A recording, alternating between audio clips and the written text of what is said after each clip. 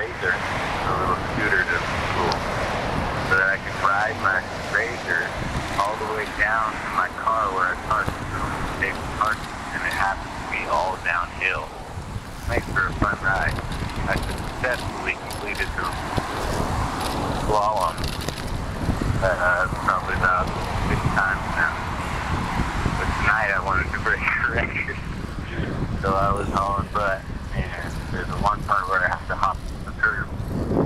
Well, I didn't go slow tonight, and uh, my front tire got a little wiggly on me, and I had to bail off the scooter, but I couldn't run that fast.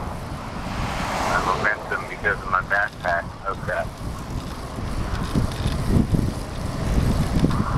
because of my backpack and my forward lean was basically throwing me over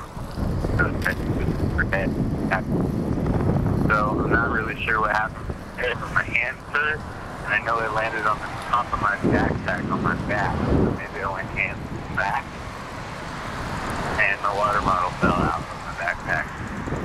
Pretty sure one person saw it. Um, and I'm sure it's like sure my backpack.